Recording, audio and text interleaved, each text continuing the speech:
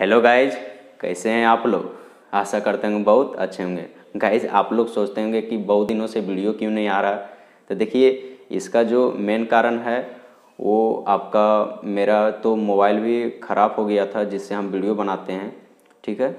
तो ये इतना ज़्यादा हैंग मारने लगा, करने लगा कि उस, क्या बोलें आपको? और दूसरा कारण आप जान रहे होंगे कि ये महापर्व छठ था उसी में हम बिज़ी हो गए थे, ठीक है? तो गाइज़ आज अब से हम कंटिन्यू रहेंगे, ठीक है?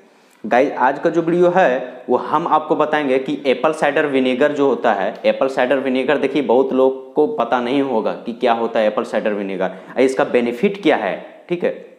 तो देखिए, ये है आपका एप्पल साइडर विनेगर ये आप किस चीज़ में आपका वर्क करता है। तो देखिए एप्पल साइडर विनेगर जो है, ये आपका क्या करता है कि ये आपका फंगस को एंटी फंगस का काम करता है मतलब फंगल इन्फेक्शन को मारने का काम करता है। अब फंगस इस इन्फेक्शन को कहाँ पे ये आपका मारेगा? जैसे कि हमारा, ये जैसे मान लेते कि ये हेयर है, इस हेयर में डेंड्रफ हो जाता है। तो डेंड्रफ जो फंगस टाइप में हो जाता है डेंड्रफ इचिंग होने लगता है, ठीक है? रेडनेस होने लगता है। तो उसमें उसमें यूज़ किया जाता है ये एप्पल साइडर विनेगर ठीक है? ये एप्पल साइडर विनेगर उसी में यूज़ किया जाता है। तो हम कितना अमाउंट में हम एप्पल साइडर विनेगर को हम इसमें हम, अगर हम डेंड्रफ, अगर कोई इंसान को हो जाता है, कोई व्यक्ति को हो जाता है तो कितना अमाउंट में लिया जाए, ठीक है?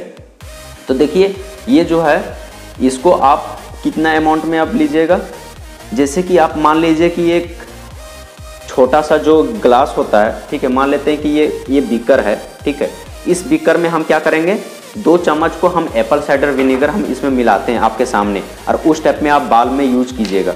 ठीक है? और इसमें हम और बेनिफिट भी बता देंगे। इसको सिर्फ़ यूज़ आप बॉडी के लिए भी यूज़ नहीं किया जाता है। मतलब बाल में और इधर उधर इधर, इसमें भी यूज़ किया जाता है और आपका इसको पिया भी जाता है। हम इसको, हम पीते भी हैं, ठीक है? तो हम किस तरह पीते हैं वो हम आपको बताएँगे। और इसको हम, मेरा डेंड्रफ भी हो गया था तो हम हम तो ले सकते थे क्रीम भी ले सकते थे, इसमें बहुत सारा शैम्पू जो होता है केमिकल वगैरह, वो सब भी ले सकते थे तो वो सब हम यूज़ नहीं करते हैं, क्योंकि वो सब जो होता है, उसमें ज़्यादा केमिकल उसमें मिला हुआ रहता है, ठीक है? पैराबीन वगैरह जो केमिकल होता है, वो बहुत ज़्यादा डेंजरस होता है मिथाइल पैराबीन वगैरह, ठीक है?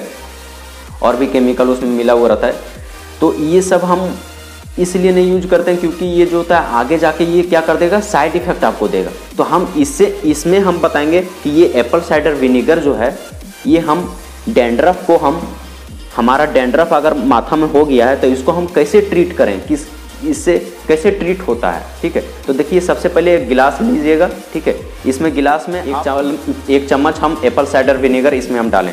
अब ये क्या कीजिएगा? ये हमारा जो पानी है आप घर में जो पानी यूज़ करते हैं वो पानी को आप क्या कर दीजिएगा? इसमें आप भर दीजिएगा। देखिए अब ये क्या कीजिएगा? अब इसको आप चम्मच से या कोई भी चीज़ से, हम ग्लास रोड से हम इसको क्या कर देंगे? इसको हम मिला देंगे। ये मिला दिए, ठीक है? इतना ही आपको काम करना है। बाकी ये ये आप, बाकी ये काम कर लेगा आपका, ठीक है? ये देखिए, इस टाइप से हल्का हो जाएगा।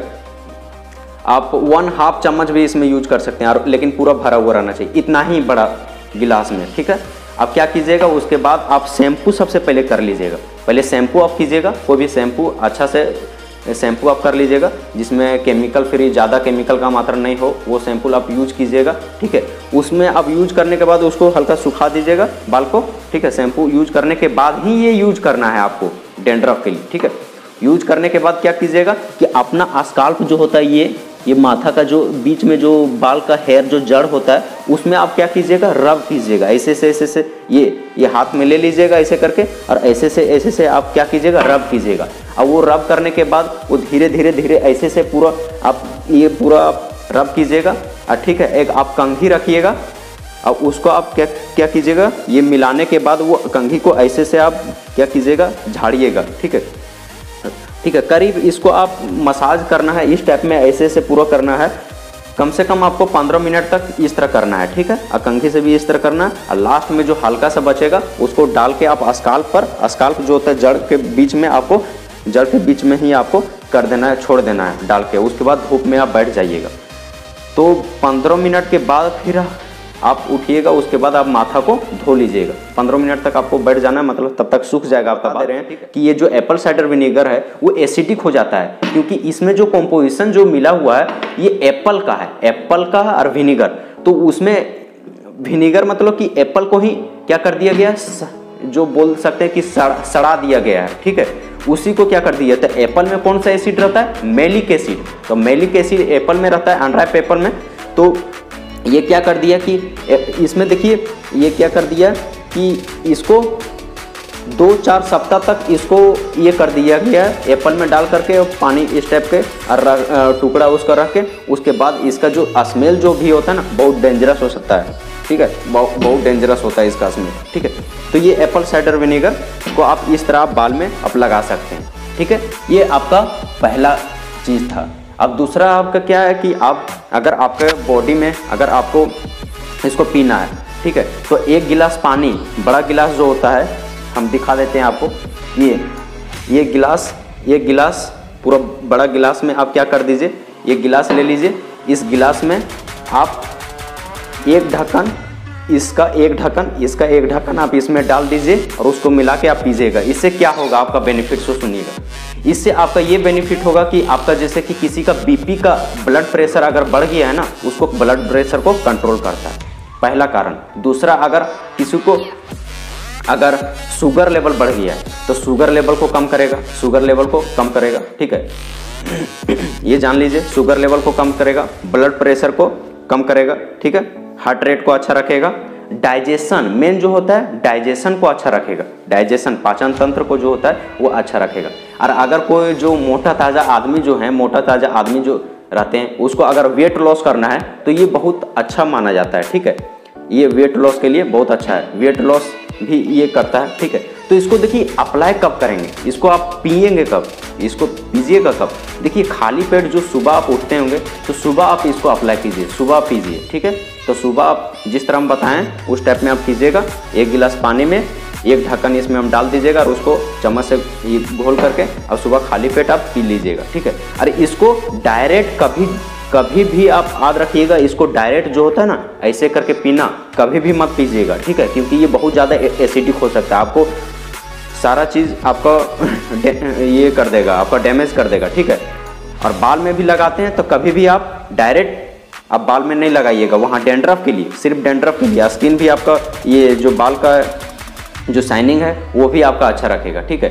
अगर ये लगाने के बाद भी आपका बाल में जो डेंड्रफ है, अगर आपका ठीक नहीं हो हो रहा है तो आप एक बार डॉक्टर से कंसल्ट कीजिएगा, ठीक है?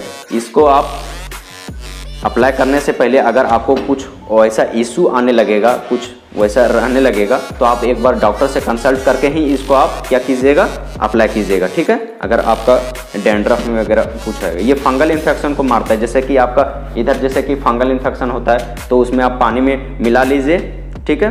एक कटोरी में मिला लीजिए, और आधा चम्मच डाल दीजिए उसमें, एक कटोरी है, एक कटोरी में मिला के, आधा चम्मच डाल के, और उसमें मिला के, और उसके बाद ऐसे से लगा के, ऐसे छोड़ दिए तो यहाँ जो फंगल इन्फेक्शन जो रहता है, उसको भी ये क्या करता है ट्रीट करता है, ठीक है?